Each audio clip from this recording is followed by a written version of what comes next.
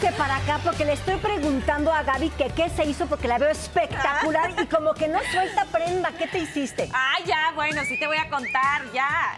¿Te imaginas moldear tu nariz sin la necesidad de una operación? A ver, pero sin operación, ¿cómo hacen? Imposible. Te lo juro que sí se puede. Y es que, y qué mejor de la mano, ¿no? De un profesional como el doctor Krasovsky. Ah, no es que él es mago, con él todo se puede. Pero ¿cómo lo hizo? Ay, pues mira, mira. A ver. Familia, hoy estoy con el doctor Krasovsky. Perdón a todos allá, pero me tuve que traer a Gaby para acá, porque ya saben que cualquier cosa que se haga, desde una inyección hasta cualquier cirugía, debe de ser en el lugar indicado. ¿Qué es lo que te pasó a ti? A mí se me fue haciendo de lado, no sé si se alcance a ver la nariz, pero en mi caso yo no me quiero volver a operar, doctor, entonces quería buscar otro, otro tipo de procedimientos y si los hay. Ok, sí, sí los hay, por supuesto. En estos casos hay un procedimiento que se llama rino remodelación, que es remodelar la nariz para modificar algunos cambios que puede tener, eh, como este, que tuvo una cirugía donde no tuvo un resultado deseado, no se quiere volver a operar y bueno, pudiera ser candidata. ¿Qué es lo que se inyecta, doctor? Mira, en este caso podemos inyectar dos tipos diferentes de cosas. Uno es ácido hialurónico Ok. y otra es hidroxiapatita de calcio. En tu caso lo vamos a hacer con ácido hialurónico. ¿Por qué? Porque tiene antídoto. ¿Qué quiere decir? Que por si alguna situación llegara a pasar o no te gusta o algo, lo podemos disolver de inmediato. Lo primero que hacemos es vamos a marcar la zona en donde tenemos el hundimiento, que es lo que hace que tu nariz se vea desviada en esta dirección, ¿ok?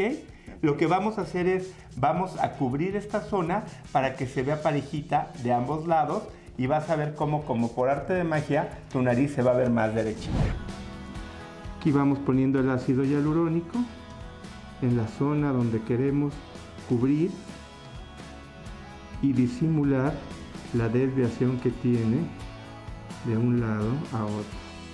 Ya cubrimos la parte anterior, vamos un poquito hacia la parte posterior, otro piquetito y vamos poniendo el producto.